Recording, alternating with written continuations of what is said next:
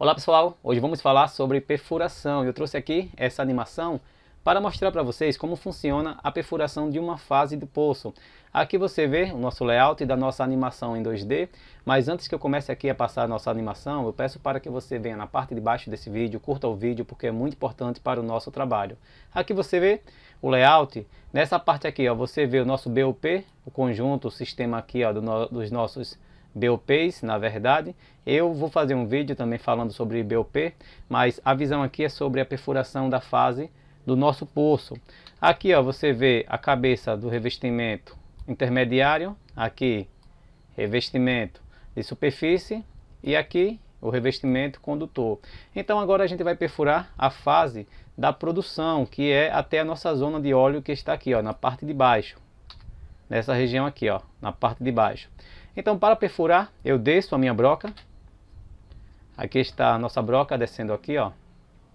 Até encostar aqui no fundo do poço, no fundo da fase aqui de, do revestimento intermediário. Então aqui, ó, eu encostei a minha broca junto com os comandos, a coluna de comandos e aqui a coluna de revestimento de perfuração.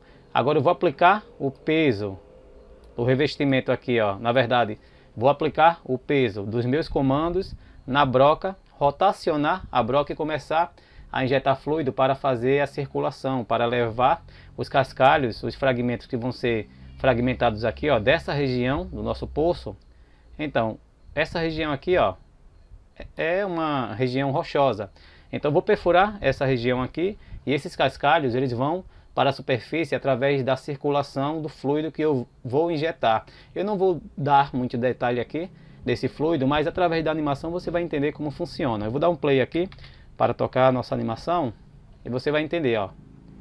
Então aqui você vê a nossa broca rotacionando, sendo aplicado o peso aqui ó, dos nossos comandos e os fragmentos indo para a superfície através de um fluido que eu injeto para fazer a circulação e trazer esses cascalhos, esses fragmentos da rocha para a superfície. E essa parte aqui fica aberta para que depois eu possa descer um revestimento, fazer a cimentação e colocar o poço depois para a completação. Mas aqui eu vou finalizar o nosso vídeo, espero que você tenha entendido. Qualquer coisa, qualquer ideia que você tenha aqui, coloque aqui nos comentários. Também coloque o que você achou desse vídeo.